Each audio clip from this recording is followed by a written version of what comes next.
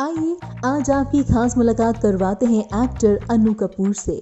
अनु कपूर ने नवभारत टाइम से खास बातचीत की है। नवभारत टाइम से खास बात करते हुए अनु कपूर ने अपनी लाइफ के कई सारे एक्सपीरियंसेस हमारे साथ शेयर किए। अनु कपूर ने कहा कि उनका भी बहुत उतार चढ़ाव वाला सफ़र रहा है। जो वो डिजर्व करते थे, वो जगह, वो मुकाम हासिल नहीं हुई। मैं बहुत आभारी हूँ आपके नवभारत टाइम्स का कि आपने मुझे अवसर दिया रूबरू होने का।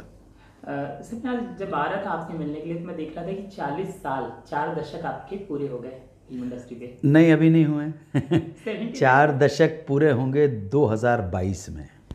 मतलब कला के मामले में चार दशक पूरे हो गए क्या? कला का कला के मामले में लगभग लगभग छियालीस साल पूरे हुए छियालीस साल पूरे हो गए। तो सबसे पहले तो मैं सच में क्योंकि नवभारत टाइम्स में मैं पहली बार आपसे मिल रहा हूँ तो इसलिए जानूँगा इस सफ़र को देखते कैसे हैं? चार दशक से ज़्यादा समय आपने देखा है बहुत कुछ बदला है। एक आपके डैडी पारसी थिएटर जहाँ से आपकी शायद शुरुआत हुई थी वहाँ छोटा काम कर रहे थे फिर एन फिर वहाँ से फ़िल्मों में आपका प्रवेश श्याम जी के। थोड़ा सा इस सफ़र के बारे में बताइए और बदलाव साथ ही साथ। देखिए बदलाव तो जीवन का नियम है आप चाहें या ना चाहें बदलाव तो होके रहेगा। लेकिन ये बदलाव पॉजिटिव हो शुभ हो मंगलदायक हो इसके लिए व्यक्ति को हमेशा चेष्टा करनी चाहिए हमेशा प्रयत्न करना चाहिए। द्वयम बात कि अभी तक का जो सफ़र रहा है वो बहुत सारे उतार चढ़ावों के साथ रहा है। हर अ, स्टेज के ऊपर हर पड़ाव पे, जो भी मैं अपना सर्वोत्तम था बेस्ट था, हर क्षेत्र में मैंने दिया। वो चाहे थिएटर हो, सिनेमा हो, टीवी हो, रेडियो हो, या डायरेक्शन हो, जो भी मैं बेस्ट कर सकता था, वो मैंने दिया। बदले में मुझे जो मिलना चाहिए था, जो मैं डिज़र्व करता था, वो शायद इसलिए नहीं मिला कि मेरी भाग्य में ही ऐसा नहीं है। शायद हो सकता है भारत के लोग, लोगों को मेरा काम शायद पसंद नहीं आया, इसलिए जिस जगह पे मुझे पहुँचना था, वहाँ पे लोगों ने मुझे पहुँचाया नहीं, नियति ने नहीं पहुँचाया।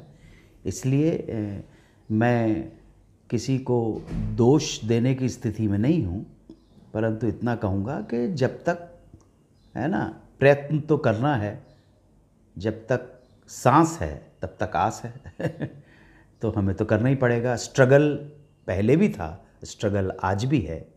स्ट्रगल की किस्में बदल जाती हैं। पहले दो दो रोटी के लिए होता था, अभी रोटी के साथ थोड़ा सब्ज़ी भी मिल जाए और वो प्लेट थोड़ी सी ठीक ठाक हो जब बेसिक स्ट्रगल है, रोटी, कपड़ा, मकान का, वो पूरा होने के बाद एक नया स्ट्रगल शुरू होता है और ये स्ट्रगल सारे सारे एग्जिस्टेंस सारे जीवन भर चलता रहता है।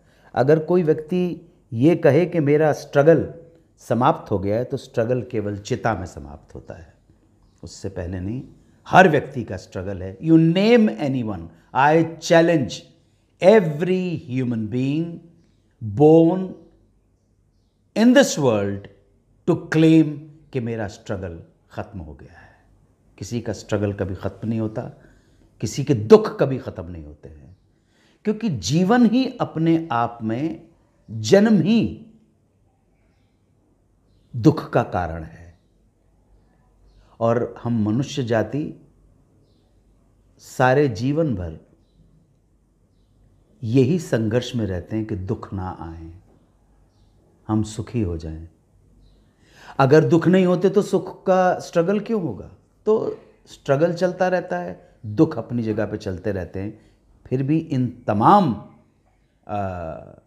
लाइबिलिटीज़ के साथ जो भी संभव है, स्वाभिमान के साथ जीना उसमें कोशिश करते रहते हैं। ये सवाल था मेरे पास कि आप जि, जि, जिस तरीके से आप मल्टी टैलेंटेड हैं आपको आपका ड्यू नहीं मिला सवाल था मेरे पास और आपने कहा कि मुझे किसी पर दोष नहीं करना।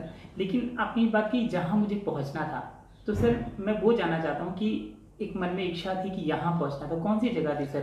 अरे यार जिस तरह का मैं कलाकार हूँ और जितने क्षेत्रों में विविधता के साथ मैंने हर क्षेत्र में अपना सर्वोत्तम देने की कोशिश की है और जनता को पसंद भी आया है तो यहाँ नहीं, कहीं और ऊंचाइयों पे पहुँचना था।